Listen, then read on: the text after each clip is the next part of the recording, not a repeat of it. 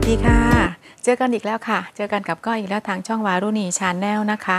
ช่องแบ่งปันทางด้านการตัดเย็บเสื้อผ้าและการสร้างแพทเทิร์นค่ะ คลิปนี้จะพาเพื่อนๆสร้างเสื้อ คอปีนแหลมนะคะ แขนกุดนะคะตัวปล่อย ด้านหน้าจะเป็นจีบซ้อนอ่าฉัดทบทบนิดหน่อยเป็นเป็นทบแบบว่าผ้าด้านหน้านะคะตรงกลางหน้าเลย ตรงไหล่จะมีจีบนะคะและดูเป็นดีไซน์ด้านหลังจะเป็นทวิต น้อยๆไม่เยอะนะคะ เป็นเสื้อสวมหัวนะคะ ตัวปล่อย สัดส่วนที่จะบวกนะคะ ตัวนี้จะบวกไม่เยอะนะ ไซส์นี้จะเป็นไซส์รอบอก 36 นิ้ว สะโพก 39 นิ้ว ไหล่ 16 นิ้วนะคะ ความยาวของเสื้อจะทำให้ลูกค้าอยู่ที่ 23ถึง24 นิ้วนะคะ ตามความความสูงของเรานะคะ ถ้ากำหนดความยาว ตัวนี้ก็จะมาแปลเป็นหลักเซนนะคะ รอบอก 36 นิ้วจะมาแปเป็นหลักเซน สัดส่วนที่จะบวก รอบอกก็จะบวกอยู่ที่ 6 เซนนะคะสะโพกก็จะบวก 6 เซน รอบรักแร้บวก 3 เซนทำไมจะทำไมบวกแค่ 6 เซนทั้งทั้งๆที่ลูกค้าตัวใหญ่ คือการบวกมันจะขึ้นอยู่กับทรงเสื้อด้วยนะคะ เสื้อตัวนี้จะมีจีบตรงด้านหน้า แล้วก็ด้านหลังจะเป็นจีบทวิต เพราะฉะนั้นเสื้อเขาจะตัวปล่อยรวมออกไปอยู่แล้ว เราก็จะเลยบวกอยู่ที่ 6 เซนก็พอนะคะ มาเริ่มเลยค่ะเหมือนเดิมรอบสะโพกนะคะ ตัวนี้ตรงสันทบด้านหน้าที่เป็นจีบนะคะ ก็จะกะออกไว้เลยค่ะจากตรงกระดาษสันทบเราขีดออกไปเลยค่ะ2เซนครึ่ง2เซนครึ่งทบเข้าไป ประมาณ2เซนครึ่งถึง3เซนเอา3เซนแล้วกัน ขีดไป3เซนจากริมกระดาษนะคะ จากริมกระดาษขีดไป3เซนค่ะ ขีดมา 3 เซนแล้วขีดเส้นตรงเลยนะคะ ขีดเส้นตรงเลยค่ะเพื่อนๆขีดไว้ก่อนนะ กันลืมสำหรับมือใหม่ ต้องทำอย่างนี้นะคะ ขีดจากริมกระดาษเข้ามา 3 เซนแล้วพับเก็บเข้าไปกัน พับเลยค่ะ พับกระดาษเข้าไปเลย เราจะเอาไว้ทำจีบทบด้านหน้านิดนึงพับกระดาษเข้าไปตามเส้นที่เราขีดนะคะ พับเข้าไปเลยค่ะ กรีดให้ให้แน่นเลยนะคะอาพอเรียบร้อยเสร็จ เราจะตีกรอบเสื้อ การตีกรอบเสื้อก็คือนำสะโพกบวกรวมหารสองนะคะ บวกรวมหารสองได้เท่าไหร่วัดออกไปเลยค่ะถ้ากับรอบสะโพกที่เราบวกรวมหารสองค่ะ ติ๊กออกไป ติ๊กออกไปนะคะ ขีดเส้น บวกรวมหารสองค่ะ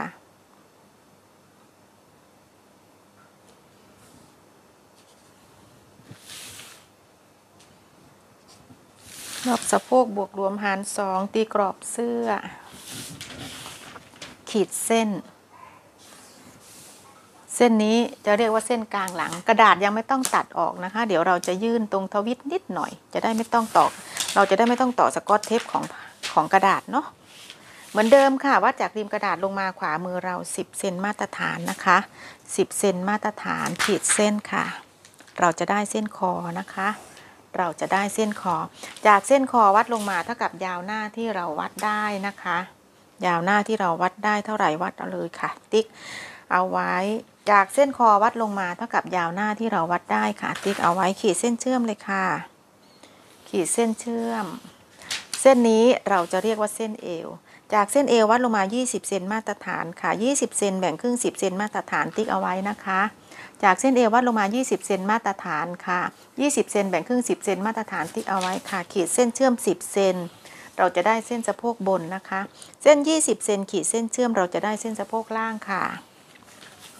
ต่อมาเส้นคอและเส้นอกนะคะ แบ่งครึ่งเลยค่ะ ติ๊กเอาไว้ คอและอกแบ่งครึ่งติ๊กเอาไว้ค่ะ ขีดเส้นเชื่อมหากันเราจะได้เส้นหน้าอกค่ะ เส้นนี้เรียกว่าเส้นหน้าอกนะคะ เส้นหน้าอกและเส้นคอแบ่งครึ่งค่ะ ติ๊กเอาไว้ เส้นหน้าอกและเส้นคอแบ่งครึ่งติ๊กเอาไว้ค่ะ ขีดเส้นเชื่อมหากันเราจะได้เส้นบ่านะคะ เส้นหลักๆเราได้แล้วนะ เส้นคอ เส้นบ่า เส้นหน้าอกนะคะ เส้นเอว เส้นหน้าท้อง เส้นสะโพกค่ะ ต่อมาเราจะมาหาด้านบน คอเสื้อตัวนี้ใช้รอบคอ 36 มาตรฐานนะคะ คอสูง 7 เซนค่ะ วัดขึ้นมาจากเส้นคอ 7 เซนนะคะ คอสูง 7 เซน แนวนอนของคอ 6 เซนครึ่งวัดจากกลางหน้าออกไป 6 เซนครึ่งค่ะ วัดออกจากกลางหน้า 6 เซนครึ่งเท่ากับแนวนอนของคอ ตีกรอบคอเสื้อนะคะ ตีกรอบคอนี่ค่ะ เกิดเส้นลักษณะนี้นะ คอสูง 7 เซนแบ่งครึ่งค่ะ 7 เซนแบ่งครึ่งได้ 3 เซนครึ่ง นะคะ ติ๊กเอาไว้ขีดเส้นเราจะได้เส้นไหลนะคะ คอสูงแบ่งครึ่งเราจะได้เส้นไหลค่ะ ไหลหารสองวัดออกจากกลางหน้าออกไปนะคะ ไหลหารสองวัดออกจากกลางหน้าออกไป ติ๊กเอาไว้นะคะ ขีดจากเส้นคอสูงหาเส้นไหล่เราจะเกิดเส้นลักษณะนี้ บ่าหลังหารสองวัดออกไปค่ะ ขอโทษค่ะบ่าหน้าหารสองวัดออกไปค่ะ ติ๊กเอาไว้นะคะ ติ๊กเอาไว้ อกห่างหารสองวัดจากกลางหน้าออกไปค่ะ ติ๊กเอาไว้นะคะ อกสูงวัดทะแยงจากเส้นคอลงไปเท่ากับอกสูงที่เราวัดได้ติ๊กเอาไว้ค่ะขออนุญาตจัดแยงกระดาษก่อน กระดาษก็เป็นรอยพับ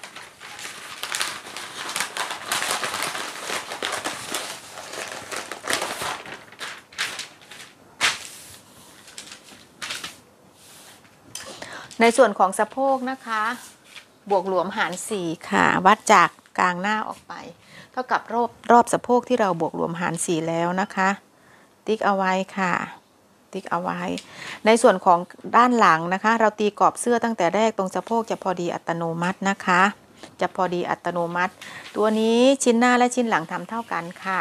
รอบอกหารสี่รอบอกบวกหลวมหารสี่ได้เท่าไหร่วัดออกจากกลางหน้าเลยค่ะ ติ๊กเอาไว้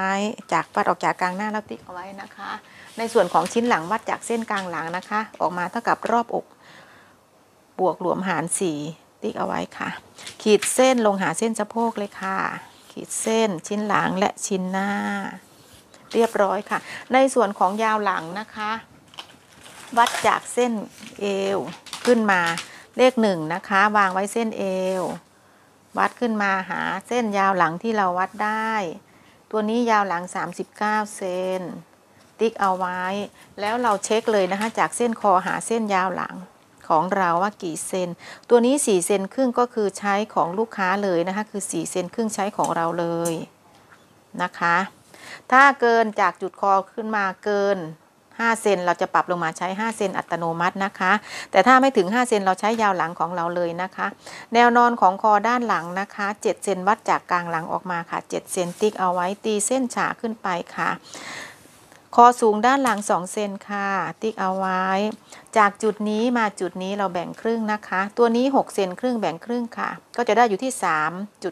3.25 เราจะนำตรงนี้ มาหาไหลหลังนะคะ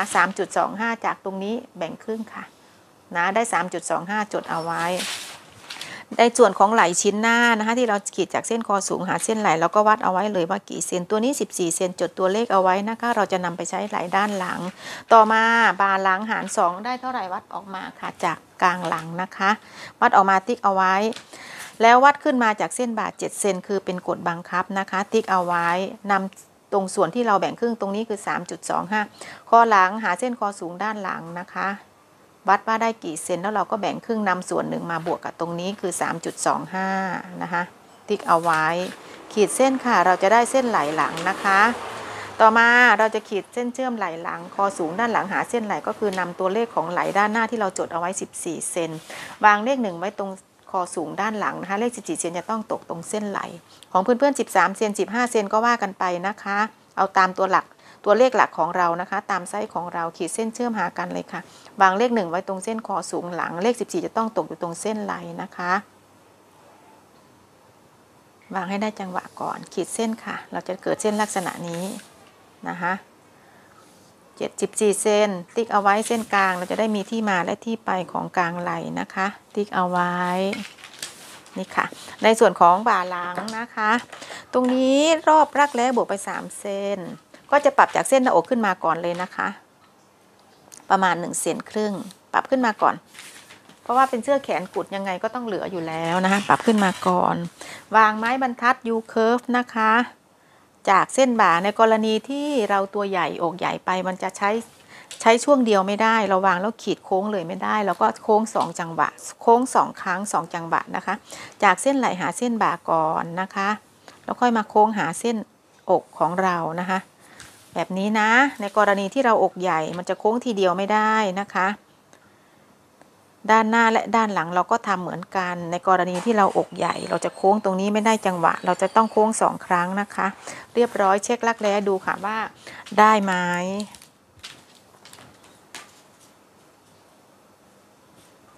เช็คเลยค่ะ 24 ตัวนี้ลักแร้38 เซน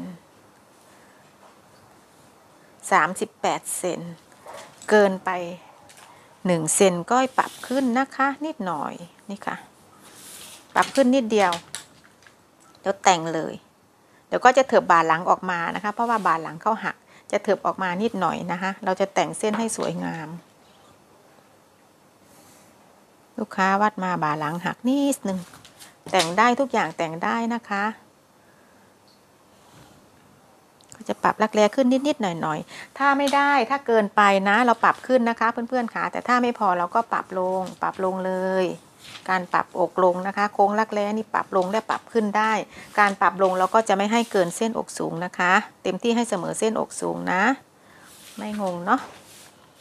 โค้งเส้นรักแร้ใหม่ ได้เส้นนี้นะคะ ได้เส้นนี้ ในส่วนของไหลเช็คเลยนะคะ การปรับไหลเราจะต้องปรับนะ การปรับไหลถ้าไหลหลังทุกตัวไหลหลังจะต้องสูงกว่าไหลหน้าตัวนี้จากเส้นไหลมาหาเส้นหน้าอกตรงนี้ นะคะที่เราโค้งรักแร้ตัวนี้ 7 นิ้ว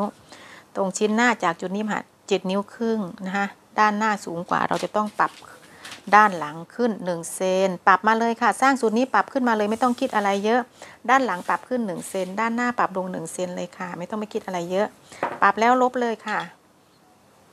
ลบออกไปเลยเส้นที่เราไม่ใช้นะ ลบออกไปเลยหาด้านหลังก็ลบออกไปเลย เส้นที่เราไม่ใช้ การปรับไหลนะคะจำเป็นจะต้องปรับนะ เสื้อเราจะได้ไม่ต้องหงายหลังทำไมต้องปรับไหล เราต้องการให้ไหลด้านหลังสูงกว่าด้านหน้านะคะถึงปรับ นี่ค่ะ เรียบร้อย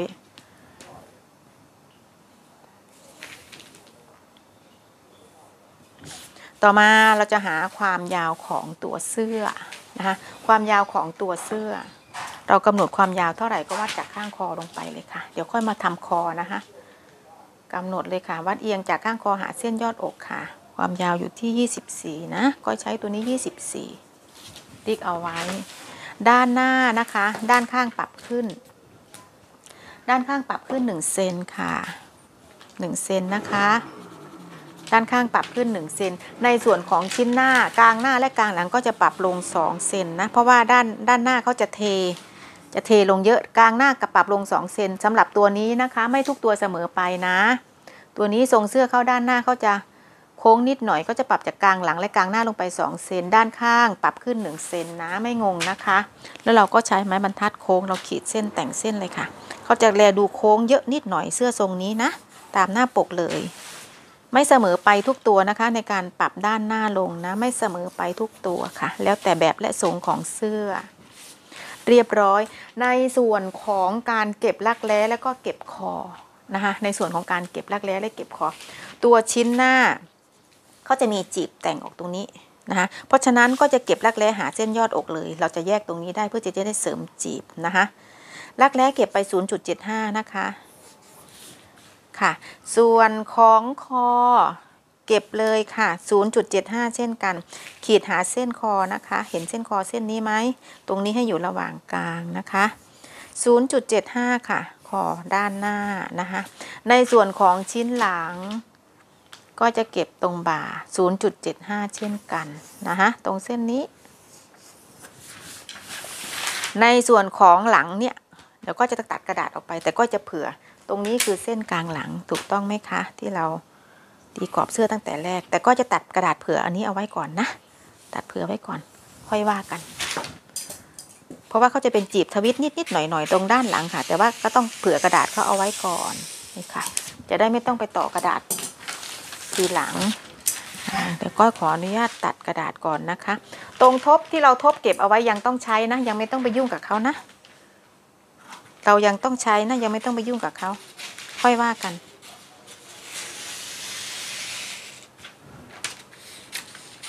อ่า ตัดเดี๋ยวก็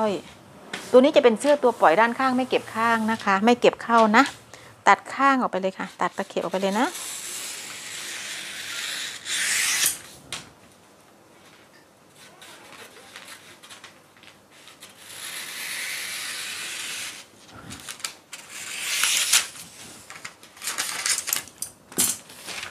เราเช็คลักแร้เลยนะคะ ตรงส่วนของลักแร้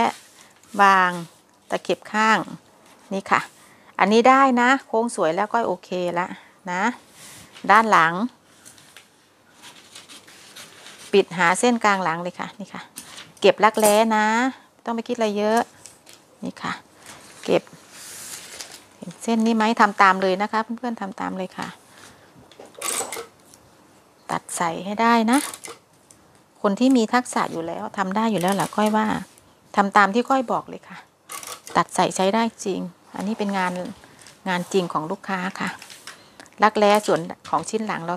ปิดแล้ว ต่อมาในส่วนของชิ้นหน้านะคะ เดี๋ยวก็จะปิดรักแร้ปิดรักแร้ตรงนี้นะคะก็คอแต่จะมาขีดตรงนี้แยกออกไปก่อน แยกออกไปก่อนก็เผื่อเผื่อว่าเราต้องการที่จะขีดคอให้ง่าย ตรงนี้แต่ไม่ใช้นะคะ ไม่ใช้แต่ว่าจะแยกไปก่อนเดี๋ยวเพื่อนๆดูนะ เดี๋ยวดูก็ทำอันนี้เปิดออกมาก่อน เดี๋ยวจะต้องแต่งคอปีนคออะไรเขานะคะ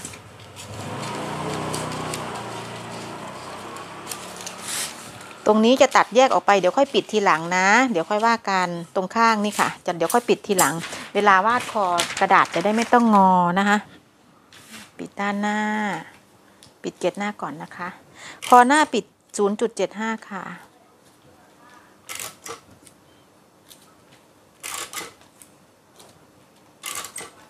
ปิดเข้าไปเลยนี่ค่ะพอปิดเสร็จแล้วก็พับเก็บเข้าไปเลยนะคะ ตรงทบเขาเนี่ยนี่ค่ะ แล้วก็พับเก็บเข้าไปเหมือนเดิมนะคะไม่ต้องไปยุ่งกับเขาอ่ารักแร้รักแร้เก็บเข้าไป 0.75 ค่ะ ปิดไว้ก่อนนะคะอ่ามาทำคอ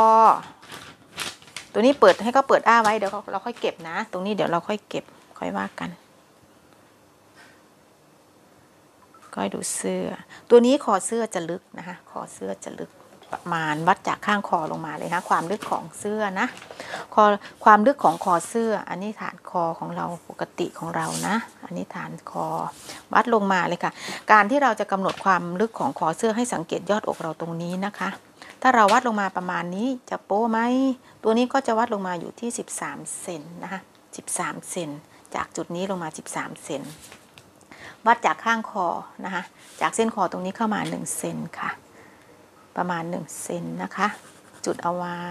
นะคะแล้วขีดเส้นตรงขึ้นไปนะ วัดจากข้างคอจุดนี้ออกมา3เซน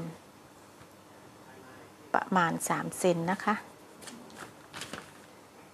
วัดขึ้นมาอีก1เซน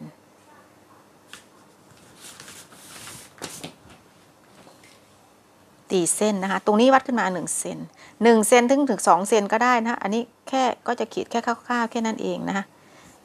วัดจากเส้นคอตรงนี้ออกมา3เซนนะนี่ค่ะ3เซนค่ะ3เซนชิ้นหลังก็เหมือนกันนะคะวัดออกจากข้างคอตรงนี้ออกมา3เซนติ๊กเอาไว้นะคะติ๊กเอาไว้ แล้วขีดขึ้นมาจากตรงนี้2เซนตรงนี้ขึ้นมา2เซน ขึ้นมา2เซนนะคะ จากจุดนี้ขึ้นมา2เซนในส่วนของด้านหลังแล้วเราตีเส้นฉากนะคะตีเส้นฉาก ในส่วนของด้านหลังนะ3เซน2เซนตีเส้นฉากนะคะอ่าเดี๋ยวเราค่อยมาว่ากันคอหน้า ตรงนี้เราวัดออกมานะคะตัวความสูง ถ้าเกิดชิ้นหน้าตรงนี้เราวัดเราวัดออกมาแล้ว1เซนถูกต้องไหมคะจากเส้นคอจริงวัดออกมา1เซนแล้วเราก็ขีดเส้นขึ้นไปด้านบนแล้ววัดขึ้นไป1เซนตรงนี้แล้วก็ขีดเส้นเฉียงไปแบบนี้นะคะ คอลึก 13เซนใช้ไม้บรรทัดโค้งเลยค่ะ วาดคอเลยเราต้องการคอแหลมนะ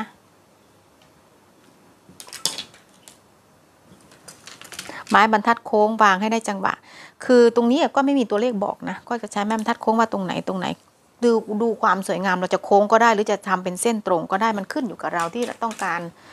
เสื้อนะคะที่เราต้องการนี่ค่ะวางเลยค่ะ จากจุดนี้นะ นี่ค่ะ โค้งเลยนี่ค่ะ แล้วก็โค้งแค่นี้เองนะคะ โค้งแค่นี้เอง ในส่วนของคอเสื้อด้านหน้าก็จะทำเป็นแหลมเลยนะ ตรงนี้ค่ะแหลมขึ้นไปนี่ค่ะ วัดจากจุดคอขึ้นมา1เซนนะคะวัดออกมา1เซนจากคอวัดออกมา3เซนแล้วตีเส้นขึ้นไปอย่างนี้ค่ะ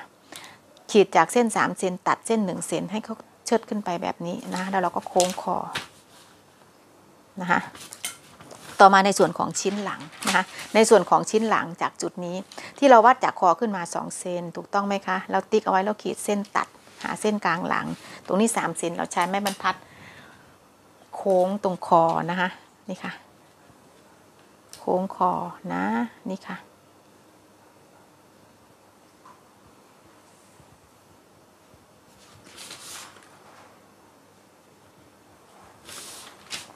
ตรงเส้นหลังตรงนี้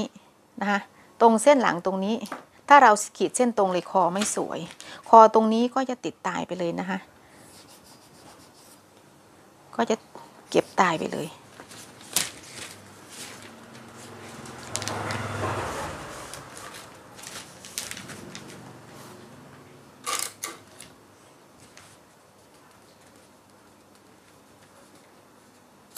เก็บไปนิดนึงค่ะ นิดเดียว เก็บพอเป็นพิธีนะคะนี่ค่ะ แล้วเราก็วัดจากเส้นที่เราขีดเส้นฉากลงไปค่ะ เราจะทำเป็นโค้งคอจีน วัดลงไปหนึ่งเซนครึ่งนะคะ จากจุดนี้ที่เราตีเส้นฉาก เราจะไม่ใช้เส้นตรงนี่ค่ะวัดลงไปหนึ่งเซนครึ่งค่ะ เราก็ใช้ไม้บรรทัดโค้งเลยนะคะไม่ใช้เราก็ใช้มือเราโค้งนี่ค่ะ เราต้องการให้เส้น อันนี้เส้นจริงเขาเส้นมุมฉากมันตรงไป มันทู่ไป วัดลงมาหนึ่งเซนถึงหนึ่งเซนครึ่งนะคะ เพื่อนๆค่ะนี่ค่ะ เราก็ได้แล้ว ขีดเส้น ด้านหลัง เดี๋ยวก็จะตัดไหลตรงนี้ออกไปนะคะ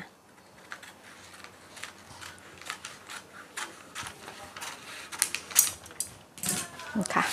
แล้วเราก็เช็คตรงเลยตรงไหล่นะคะตรงจุดของไหล่ที่เราวัดออกมา3เซนตรงนี้วาง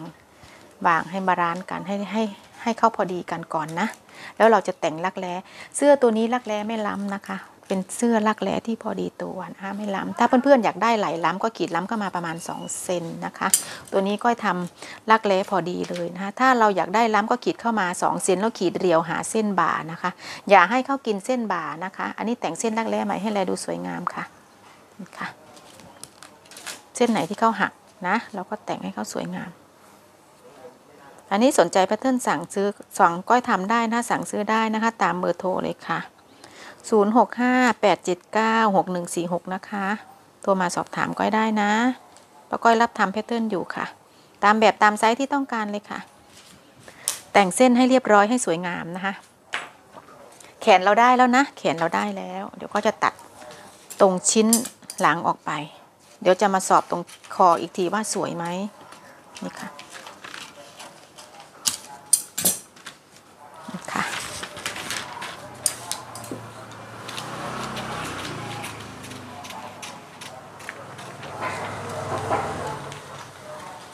ตัดออก ไปก่อน ตรงไหล่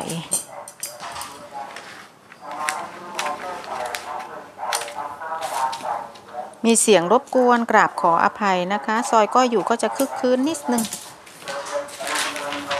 นะคะ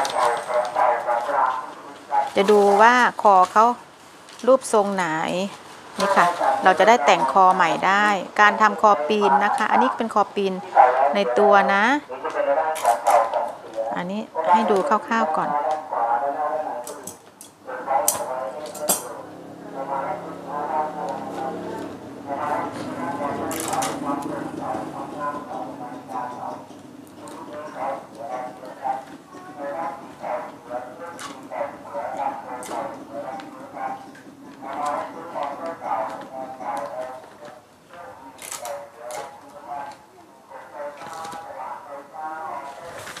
ค่ะแล้วก็เช็คคอเลยนี่ค่ะ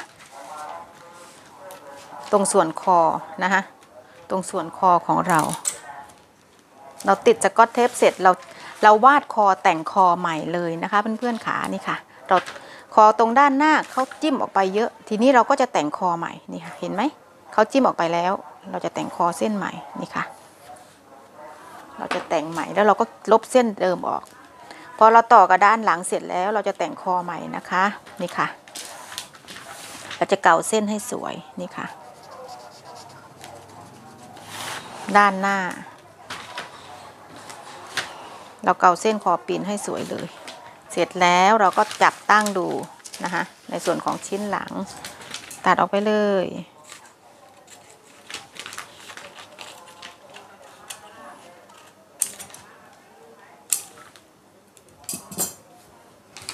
รงนี้ชิ้นหลังคือกลางหลังนะคะ ตรงนี้ก็เผื่อไว้ไม่ต้องไปมองนะ เดี๋ยวจะทำตรงนี้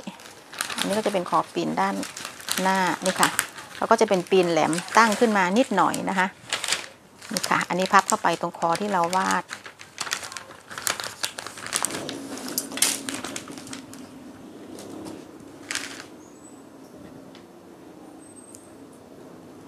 ตรงคอที่เราวาดนะคะนี่ค่ะ ในส่วนของพอเราได้คอที่เราพอใจแล้วนะ คอที่เราพอใจแล้ว อันนี้ตั้งสวยแล้วก้อยโอเคละก้อยได้ละก้อยว่าสวยละมองเห็นรูปร่างลักษณะเขาแล้วนี่ค่ะ ในส่วนของด้านหลังนะคะ ตรงนี้คือเส้นกลางหลัง เวลาเราตัดสาบคอนะคะ เวลาเราตัดสาบคอเราก็วาดโค้งอย่างนี้นะคะ วาดโค้งอย่างนี้นี่ค่ะ ถึงเส้นกลางหลัง ถึงเส้นกลางหลังนะคะ ตรงนี้ นี่ค่ะ ตรงนี้เป็นเส้นกลางหลัง ต่อมาเสื้อตัวนี้นะคะ ด้านหลังก็จะเป็นทวิตจีบนิดหน่อยนะคะอันนี้แนะนำเดี๋ยวกิ้งสาบออกไปก่อนพับกลางหลังออกไป เดี๋ยวทำสาบออกไปก่อนนะ เดี๋ยวเพื่อนๆจะงง เดี๋ยวก็จะบอกนะทีละขั้นตอนค่ะอันนี้เป็นสาบด้านหลังเราจะลอกตรงสาบตรงนี้ออกมานะคะเราต้องการที่จะลอกสาบออกไป สาบไปวางเวลาเวลาวางตัดสาบวางสันทบนะคะ แต่ก็จะตัดกระดาษแผ่นเดียว แต่ไปวางสันทบเอานะ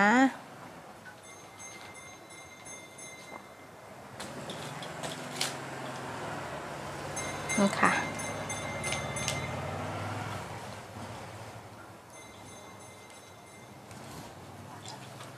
อันนี้เป็นสาบด้านหลัง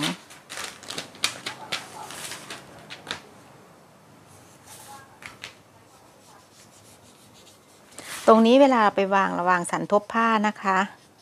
สันทบผ้า นี่ค่ะ เราจะต้องกลิ้งสาบออกมาก่อนนะคะ ก่อนที่เราจะไปแปลงตรงทวิตด้านหลังกลิ้งออกมาก่อนนะ เราจะได้ไม่ต้องตัดผิด แต่ถ้าเป็นช่างที่เขาชำนาญแล้วเขาจะตัดไม่ต้องไป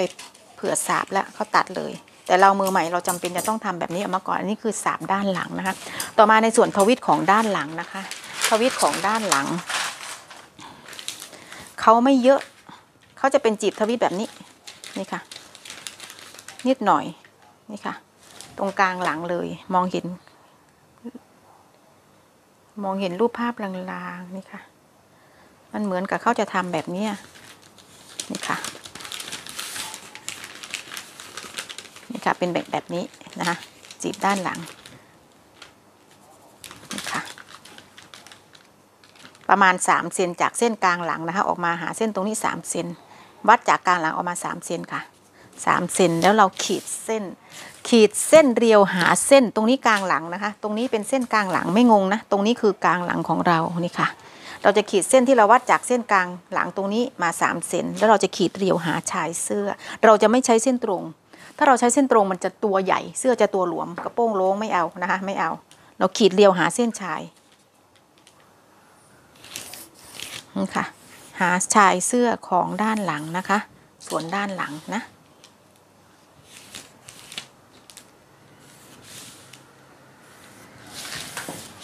แล้วเราก็ตัดออกไปนะคะตัดออกไปเลย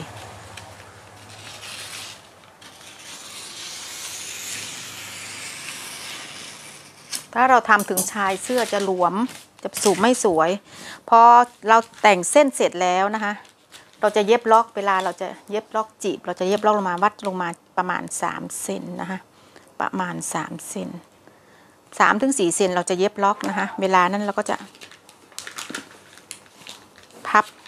จีบเขาเข้าไปนะคะเวลาไปวางผ้านะคะ ตรงนี้เป็นวางสันทบผ้านะคะ วางสันทบผ้าของชิ้นหลัง พอวางสันทบเสร็จเราจะต้องกลิ้งเส้นกลางออกมานะคะแล้วเย็บล็อกเอาไว้แล้วเราก็ไปรีด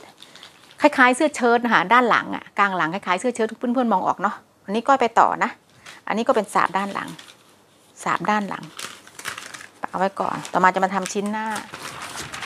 อันนี้จะทำตามแบบเลยนะคะทำตามแบบเลย ในส่วนของด้านหน้านะคะ ส่วนของด้านหน้าคอเราได้แล้ว เส้นนี้คือเส้นคอที่เราวาดแล้วเรียบร้อยที่เราแต่งตั้งแต่ตอนแรก เสร็จตรงเกยด้านหน้านะคะ ตรงเกยด้านหน้า เราคลี่ออกมาเลยค่ะ เราคลี่ออกมา ที่เราพับกระดาษซ่อนเอาไว้ตั้งแต่แรก คลี่เข้าออกไปนะคะ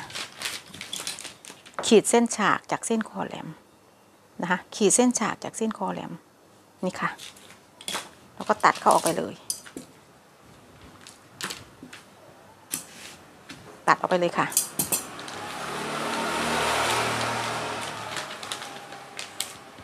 รูปทรงแพทเทิร์นจะเป็นลักษณะนี้ เราจะต้องตัดสาบก่อน เพราะว่าเราจะแยกจีบตรงนี้ เราจะต้องตัดสาบแผ่นนี้ออกมาก่อนนะคะ เวลาไปวางเสื้อนะคะ ไปวางผ้าตัดเสื้อ ชิ้นหน้าตรงนี้จะเป็นสันทบ ทบผ้านะคะทบหน้า ทบผ้า แล้วเราก็จะมาเย็บตรงนี้กับสาบสาบตรงนี้ตัดเป็นแผ่นธรรมดาให้ได้รูปทรงอย่างนี้นะคะ เป็นคอแหลมคอปีนใช้เส้นนี้นะคะ คอแหลมคอเส้นนี้เวลาเราตัดกิ้งเส้นนี้ค่ะ กิ้งเส้นนี้แล้วก็หัก แล้วก็หักมาตามตรงนี้ รงด้านหน้าตัดทบผ้า ก่อนที่เราจะไปแยกจีบที่ตรงไหล เราจะต้องตัดสาบด้านหน้าออกมาก่อนนะคะเพราะว่าเราจะปิดเกล็ดตรงนี้เราแยกตรงนี้แล้วสาบมันจะเสียทรง เราจะต้องทำสาบขึ้นมาก่อน คือวางแพทเทิร์นสาบขึ้นมาไว้ก่อนเลย อันนี้ก็ทำให้เขาไปทำงานขายนะก็ก็เลยทำละเอียดนิดนึงเขาจะไปขึ้นโต๊ะอะไรประมาณนี้นี่ค่ะ อันนี้เป็นวางสันทบนะคะ วางสันทบตรงนี้เราจะกิ้งออกไป อันนี้จะเป็นสาบเสื้อ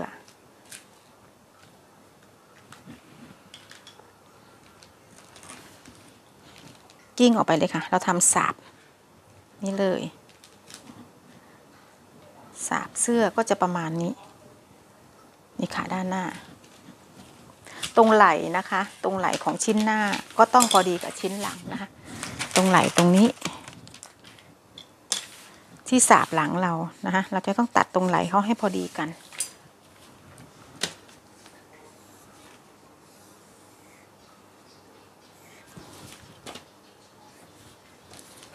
นี่ค่ะต้องพอดีกัน วางทาบเลยนะคะสาบเสื้อจะได้สวยๆ นี่ค่ะ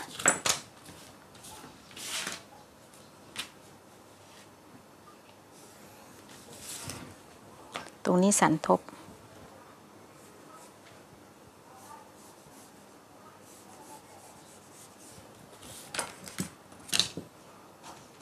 อันนี้สาบเราทำไว้ก่อน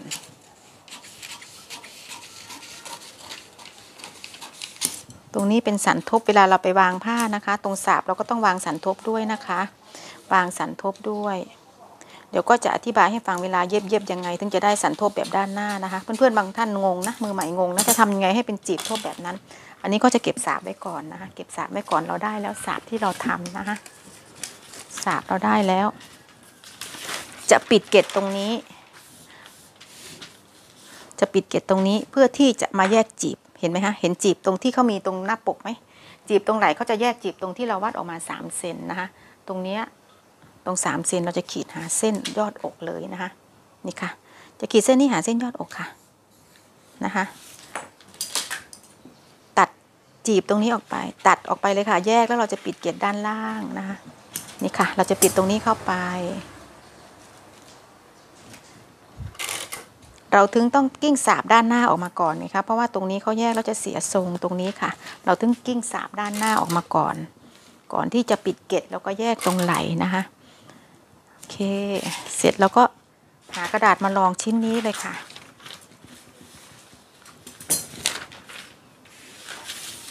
ค่ะ หากระดาษมาลองชิ้นนี้เลย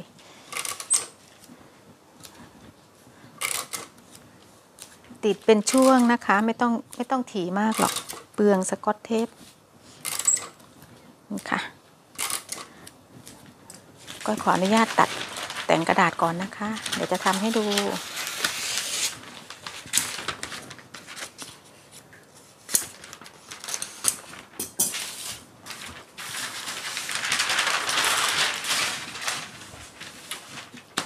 อันนี้เป็นจีบ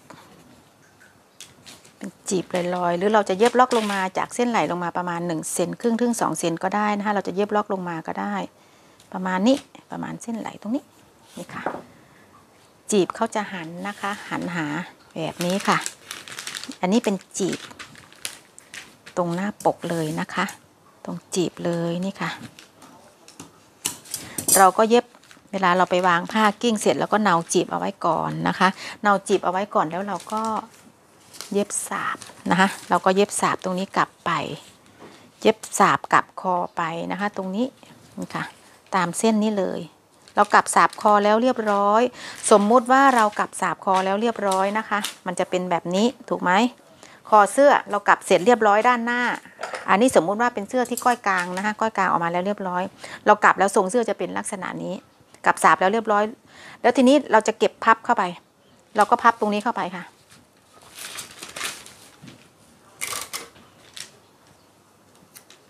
กับสาบเรียบร้อยจะเป็นทรงเหลี่ยมอย่างนี้นะคะ คอเสื้อเย็บเลยตามลมมุมเลยค่ะ เหลี่ยมแล้วก็แหลมนะคะกับเสร็จเรียบร้อยเราก็เก็บพับคอให้ด้านแหลมแหลมคอแหลมตรงนี้ให้มาชนกันนะคะ อันนี้เป็นคอปีนนะ เดี๋ยวก็จะอธิบายให้ฟังเพื่อนๆมือใหม่งงนะเนี่ยนี่ค่ะ มันจะเป็นคอลักษณะนี้ถ้าเราเย็บกับสาบแล้วเรียบร้อยนะคะพอเย็บเสร็จจับมุมเหลี่ยม จับมุมเหลี่ยมตรงแหลมตรงนี้มาชนกัน พับเข้าไปค่ะ พับเข้าไป ชนกันนี่ค่ะ ตรงด้านล่างเขาก็จะเป็นทบตลอดแนวนะคะรวมถึงจุดนี้ เราจับวางตรงนี้เสร็จปุ๊บเราเย็บยึดเลยค่ะ เย็บเส้นเดียว เย็บสวยๆนะคะเย็บล็อกไปเลย เราก็จะได้เสื้อคอปีนเหมือนหน้าปก เหมือนในหน้าปกเลยแล้วก็จีบเหมือนหน้าปกเป๊ะเลยนะคะลองทำดูนะคะเพื่อนๆขาเสร็จแล้วนะคะ วิธีสร้างแบบเสื้อคอปีนแหลม แขนกุดนะคะ ดูแล้วก็อย่าลืมกดไลค์กดแชร์นะคะ เจอกันใหม่คลิปหน้านะคะ กดติดตามไว้นะคะ ก็ลงแพทเทิร์นให้ดูทุกวันขอบคุณที่รับชมค่ะเพื่อนๆ สวัสดีค่ะ